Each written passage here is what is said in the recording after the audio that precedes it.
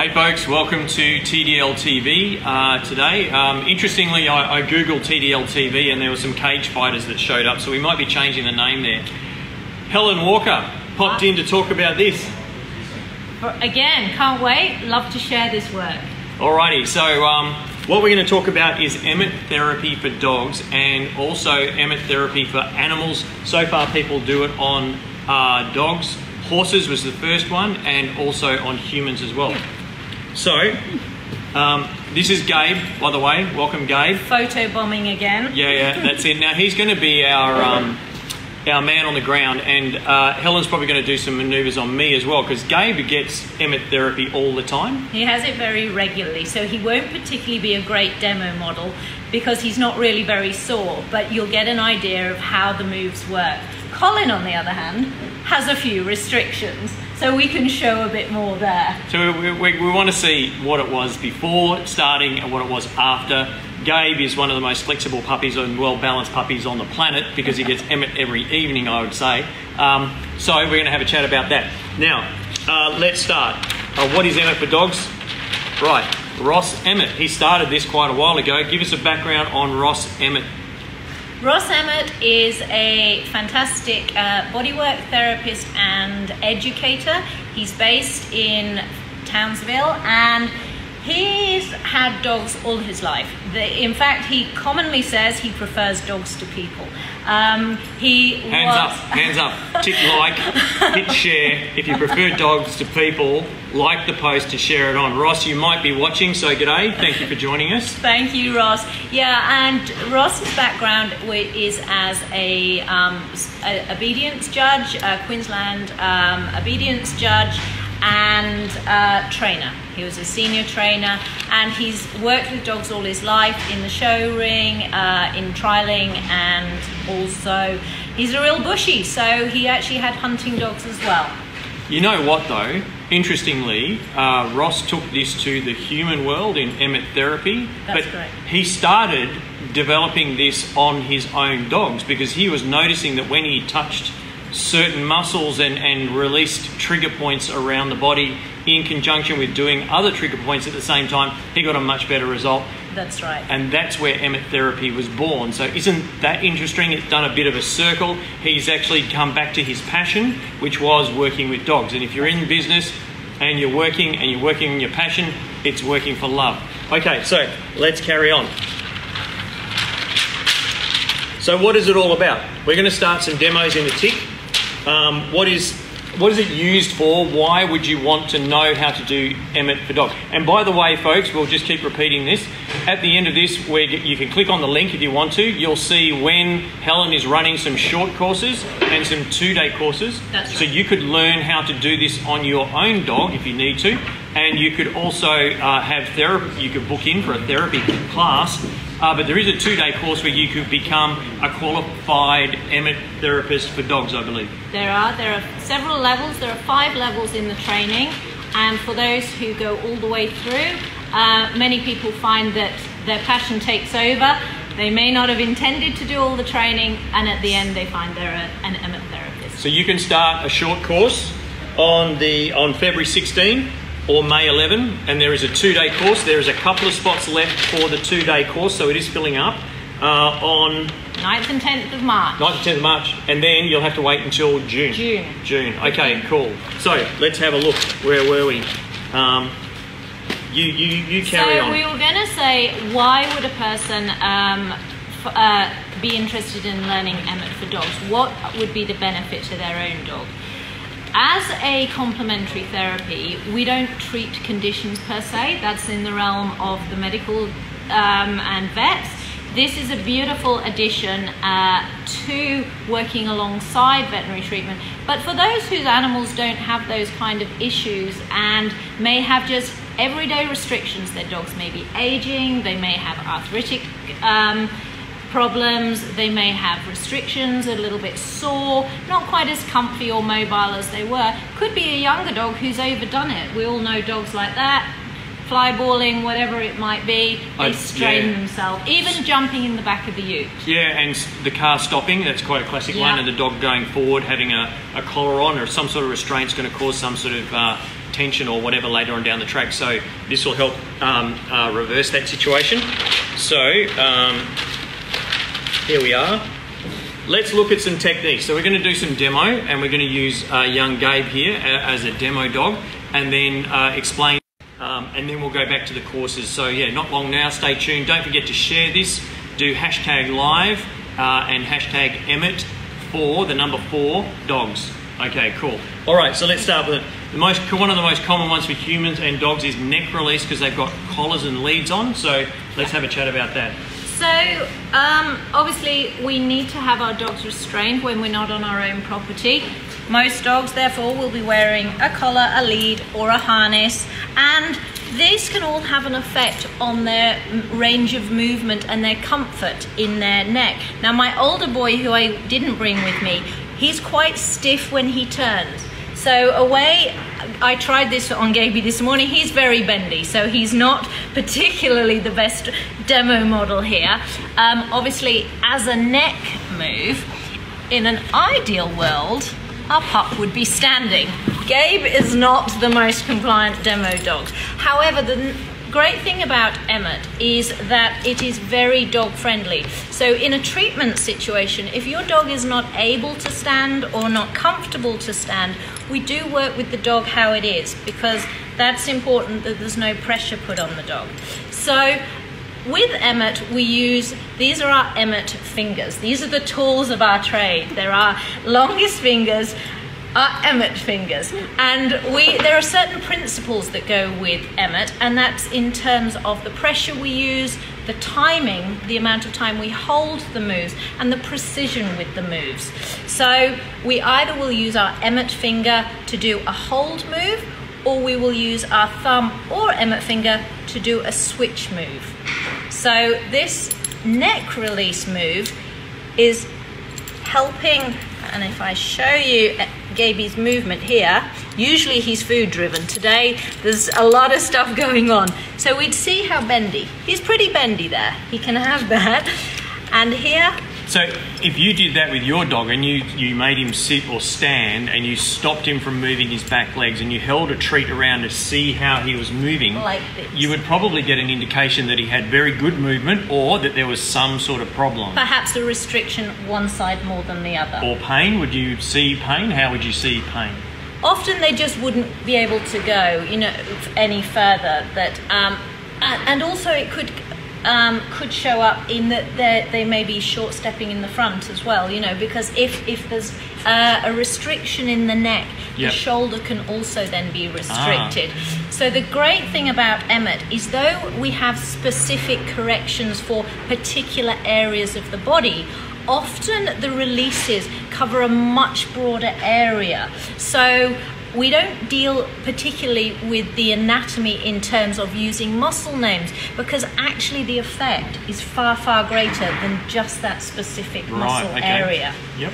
Um, hence, a neck release move can have a bigger effect on even helping shoulder movement Yep. and sinus type drainage. Oh wow. So the little moves here that we would do is I'm using my thumb in this instance and I'm doing little switches over this neck, which you can't really see on a hairy dog.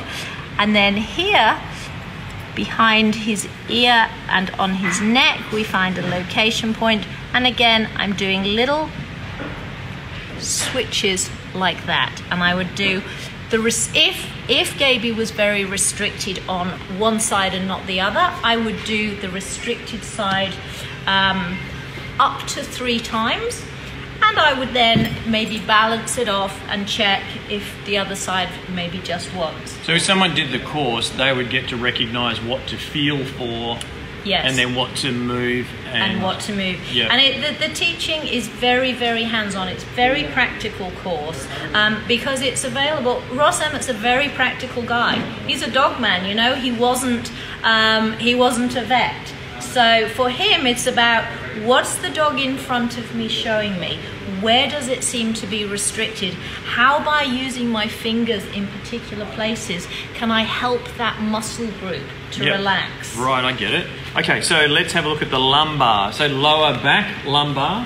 Um, why would there be problems there, and, and how can we fix that? So with some dogs, um, again, they may have soreness um, they through age or injury, and often there can be then a restriction in lateral flexion.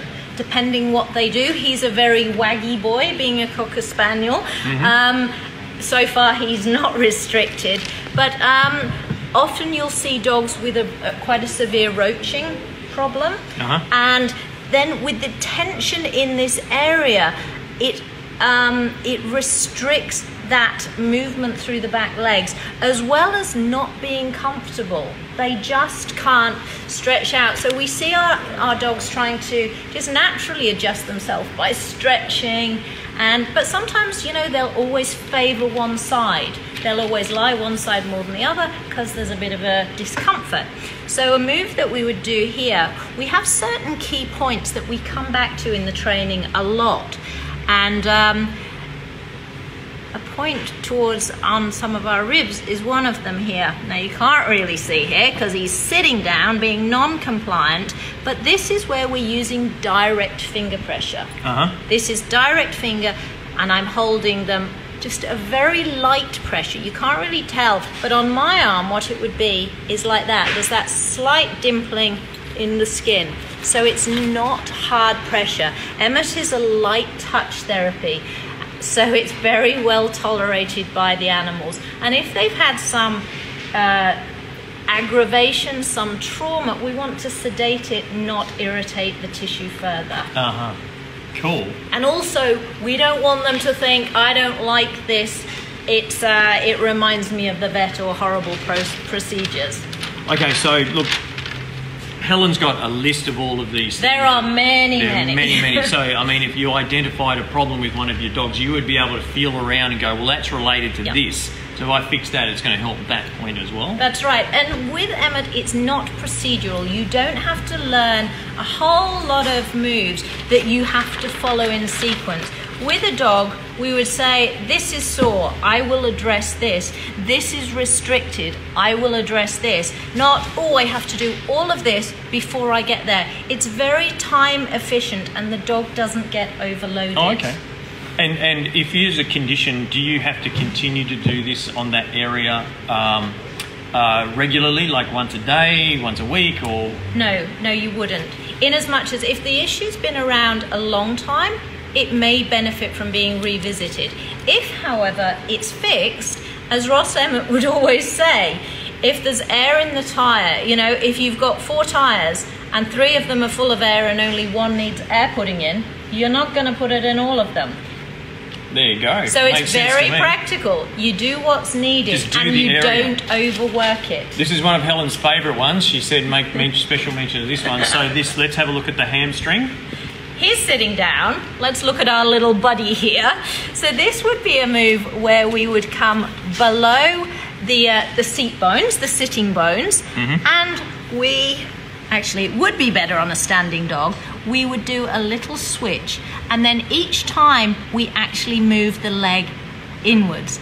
So we're putting the muscle under load. We're tractioning that muscle.